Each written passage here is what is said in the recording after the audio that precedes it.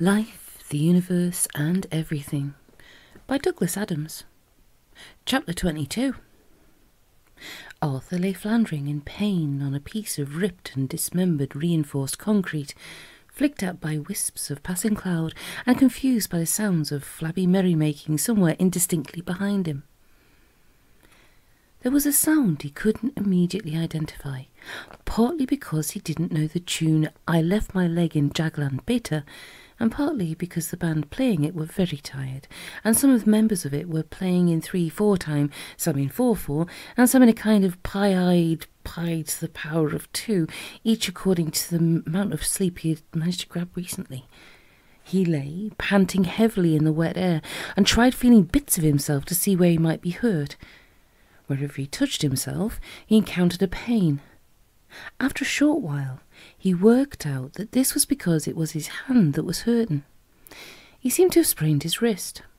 His back, too, was hurting, but he soon satisfied himself that he was not badly hurt, but just bruised and a little shaken, as who wouldn't be? He couldn't understand what a building would be doing flying through the clouds. On the other hand, he would have been a little hard pressed to come up with any convincing explanation of his own presence, so he decided that he and the building were just going to have to accept each other. He looked up from where he was lying.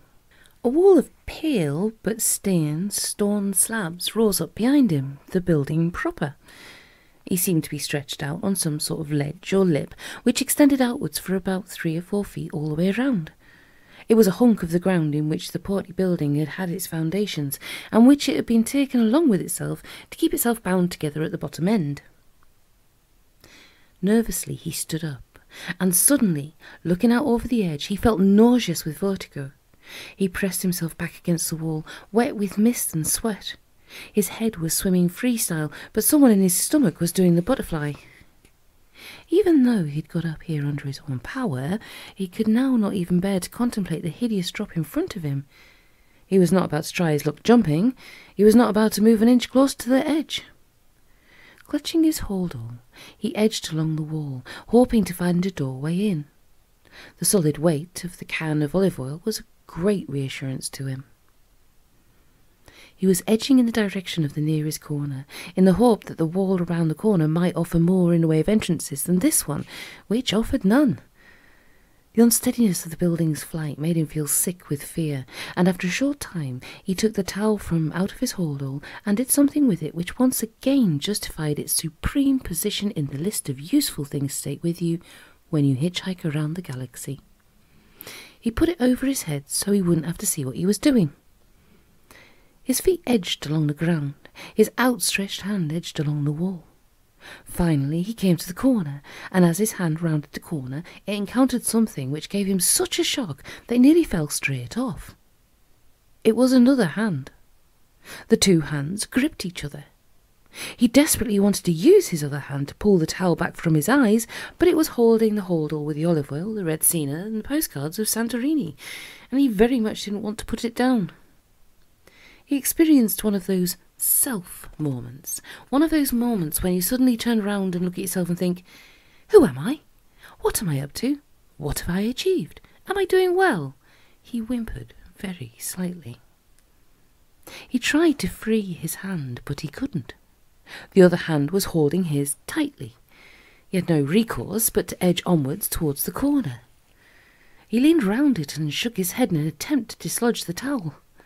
This seemed to provoke a sharp cry of some unfathomable emotion from the owner of the other hand. The towel was whipped from his head, and he found his eyes peering into those of Ford Prefect. Beyond him stood Slartibartfast, and beyond them he could clearly see a porchway and a large closed door. They were both pressed back against the wall, eyes wild with terror as they stared out into the thick, blind cloud around them and tried to resist the lurching and swaying of the building.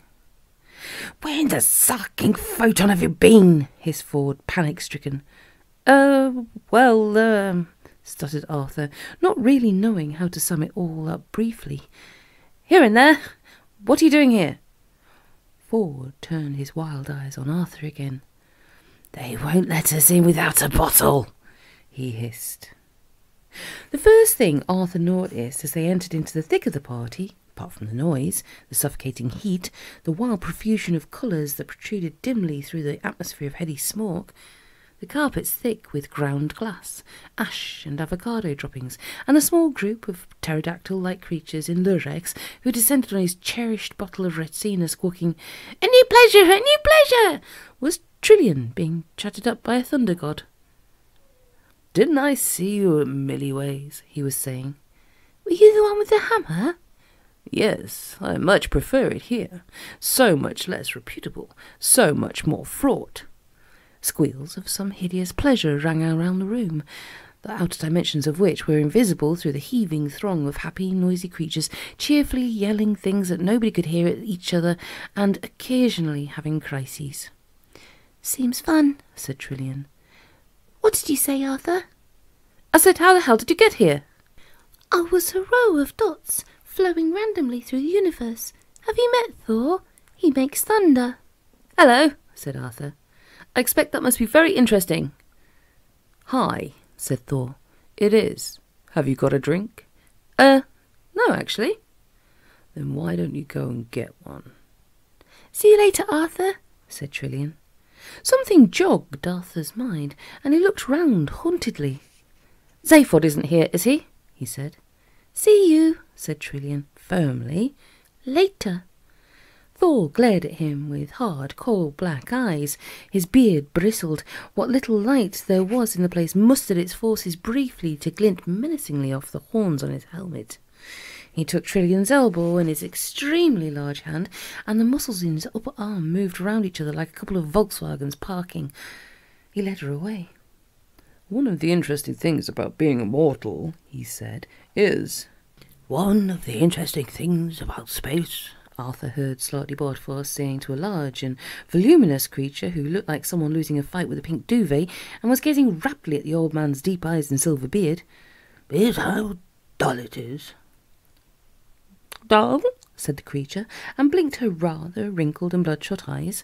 Yes, said Slartibartfast, staggeringly dull, bewilderingly so.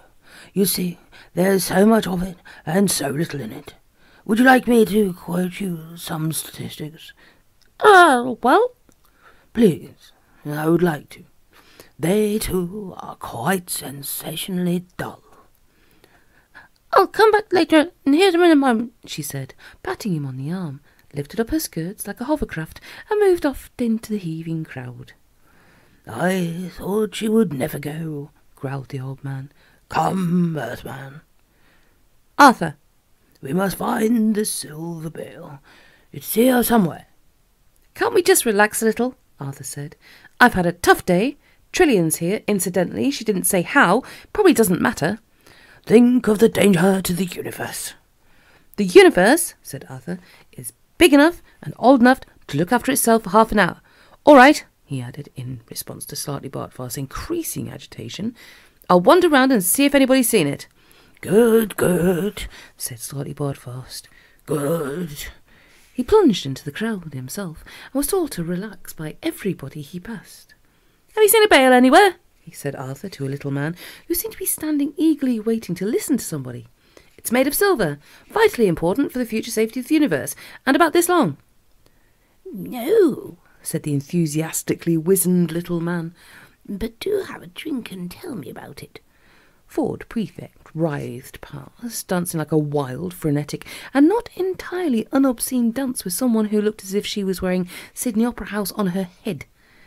He was yelling a futile conversation at her above the din. I like the hat, he bawled.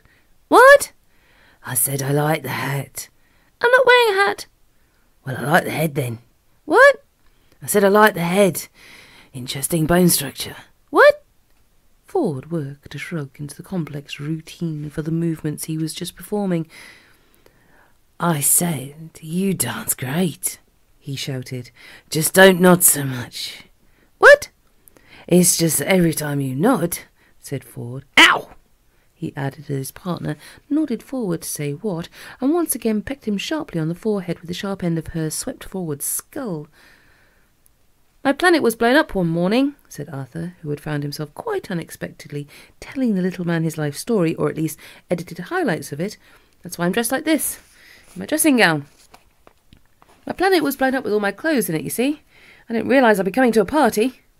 The little man nodded enthusiastically. Later, I was thrown off a spaceship, still in my dressing gown, rather than the spacesuit one would normally expect. Shortly after that, I discovered that my planet had originally been built for a bunch of mice. You can imagine how I felt about that. I was then shot at for a while and blown up. In fact, I've been blown up ridiculously often, shot at, insulted, regularly disintegrated, deprived of tea, and recently I crashed into a swamp and had to spend five years in a damp cave. Nah, effervesced the little man. And did you have a wonderful time? Arthur started to chalk violently in his drink. What a wonderfully exciting cough, said the little man, quite startled by it. Do you mind if I join you? And with that, he launched into the most extraordinary and spectacular fit of coughing, which caught Arthur so much by surprise that he started to chalk violently, discovered he was already doing it, and got thoroughly confused. Together they performed a long busting duet, which went on for fully two minutes before Arthur managed to cough and splutter to a halt. So invigorating, said the little man, patting and wiping tears from his eyes. What an exciting life you must lead. Thank you very much. He shook Arthur warmly by the hand and walked off into the crowd. Arthur shook his head in astonishment. A youngish looking man came up to him, an aggressive looking type with a hook mouth, a lantern nose, and small, beady little cheekbones. He was wearing black trousers, a black silk shirt open to what was presumably his navel, though Arthur had learnt never to make assumptions about the anatomies of the sort of people he tended to meet these days, and had all sorts of nasty, dangly gold things hanging around his neck. He carried something in a black bag and clearly wanted people to notice. He didn't want them to notice it. Hey, uh, did I hear you say your name just now? he said. This was one of the many things that Arthur told the enthusiastic little man. Yes, it's Arthur Dent. The man seemed to be dancing slightly to some rhythm other than any of the several the band were grimly pushing out. Yeah, he said. Only there was a man in a mountain who wanted to see you. I met him. Yeah, only he seemed pretty anxious about it, you know. Yes, I met him. Yeah, well, I think you should know that. I do. I met him. The man paused to chew a little gum. Then he clapped Arthur on the back. okay, he said. All right. I'm just telling you, right? Good night. Good luck. Win awards. What? said Arthur, who was beginning to flounder seriously at this point. Whatever. Do what you do. Do it well. He made a sort of clucking noise with whatever he was chewing, and then some vaguely dynamic gesture. Why? said Arthur. Do it badly, said the man. Who cares?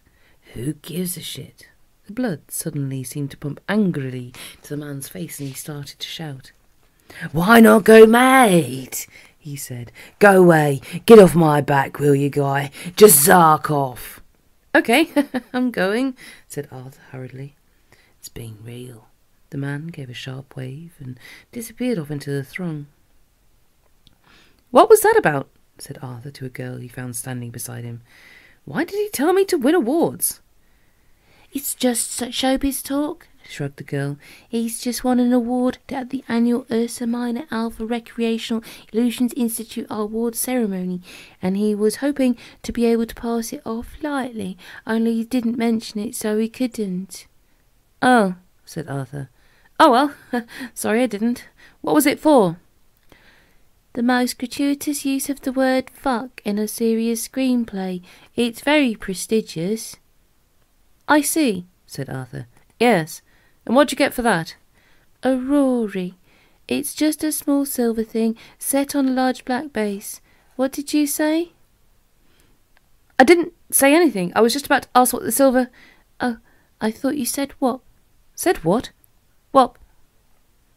People had been dropping in on the party now for some years, fashionable gatecrashers from other worlds, and for some time it had occurred to the partygoers as they had looked out at their own world beneath them With its wrecked cities, its ravaged avocado farms and blighted vineyards, its vast tracts of new desert, its seas full of biscuit crumbs and worse, that their world was in some tiny and almost imperceptible ways not quite as much fun as it had been. Some of them had begun to wonder if they could manage to stay sober for long enough to make the entire party spaceworthy and maybe take it off to some other people's worlds where the air might be fresher and give them fewer headaches. The few undernourished farmers who still managed to scratch out a feeble existence on the half dead ground of the planet's surface would have been extremely pleased to hear this. But that day, as the party came screaming out of the clouds and the farmers looked up in haggard fear of yet another cheese and wine raid, it became clear that the party was not going to be going anywhere else for a while, that the party would soon be over, very soon it would be time to gather up hats and coats and stagger blearily outside to find out what time of day it was, what time of year it was, and whether in any of this burnt and ravaged land there was a taxi going anywhere. The party was locked in a horrible embrace with a strange white spaceship which seemed to be half sticking through it. Together they were lurching, heaving, and spinning their way around the sky in grotesque disregard of their own weight. The clouds parted, the air roared and leapt out of their way. The party and the Krikkit warship looked in their writhings like two little ducks, one of which is trying to make a third duck inside the second duck, whilst the second duck is trying very hard to explain that it doesn't feel ready for a third duck right now, is uncertain that it want any putative third duck to be made by this particular first duck anyway, and certainly not whilst it, the second duck, was busy flying. The sky sang and screamed with the rage of it all, and buffeted the ground with shock waves. And suddenly, with a foop, the Krikkit ship was gone. The party blundered helplessly across the sky like a man leaning against an unexpectedly opened door. It spun and wobbled on its hoverjets. It tried to right itself and wronged itself instead. It staggered back across the sky again. For a while these staggerings continued, but clearly they could not continue for long. The party was now a mortally wounded party. All the fun had gone out of it, as the occasional broken-backed pirouette could not disguise. The longer at this point that it avoided the ground, the heavy was going to be the crash when finally it hit it. Inside, things were not going well either. They were going monstrously badly, in fact, and people were hating it and saying so loudly. The Krikkit robots had been. They had removed the award for the most gratuitous use of the word fuck in a serious screenplay, and in its place left a scene of devastation that left Arthur feeling almost as sick as a runner up for a Rory. We would love to stay and help, shouted Ford, picking his way over the mangled debris, only we're not going to. The party lurched again, provoking feverish cries and groans from amongst the smoking wreckage. We have to go and save the universe, you see, said Ford. And if that sounds like a pretty lame excuse, then you may be right. Either way, we're off. He suddenly came across an unopened bottle lying miraculously unbroken on the ground. Do you mind if we take this? he said. You won't be needing it. He took a packet of potato crisps too. Trillian! shouted Arthur in a shocked and weakened voice. In the smoking mess he could see nothing. Earthman, we must go, said Slartibartfast nervously. Trillian! shouted Arthur again. A moment or two later, Trillian staggered shaking into view, supported by her new friend, the Thunder God.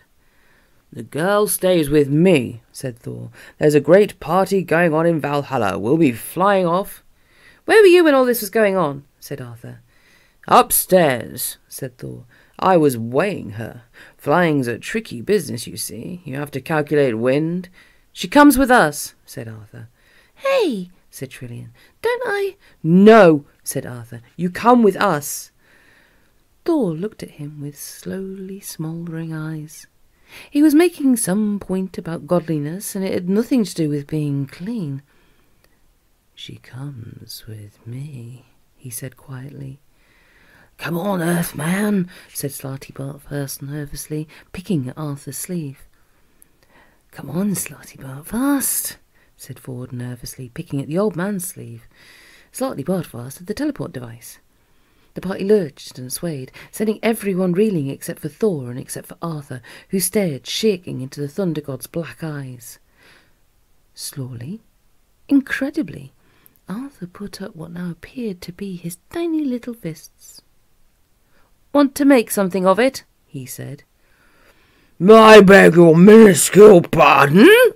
roared Thor. I said, repeated Arthur, and he could not keep the quavering out of his voice. Do you want to make something of it? He waggled his fists ridiculously. Thor looked at him with incredulity. Then a little wisp of smoke curled upwards from his nostril. There was a tiny little flame in it, too. He gripped his belt. He expanded his chest to make it totally clear that here was the sort of man you only did cross if you had a team of Sherpas with you. He unhooked the shaft of his hammer from his belt. He held it up in his hands to reveal the massive iron head. He thus cleared up any possible misunderstanding that he might merely have been carrying a telegraph pole around with him. Do I want, he said with a hiss like a river flowing through a steel mill, to make something of it? Yes, said Arthur, his voice suddenly and extraordinarily strong and belligerent. He waggled his fists again, and this time as if he meant it. You want to step outside? he snarled at Thor. All right, bellowed Thor, like an enraged bull, or in fact like an enraged thunder god, which is a great deal more impressive, and did so. Good, said Arthur. That's got rid of him. Slarty, get us out of here.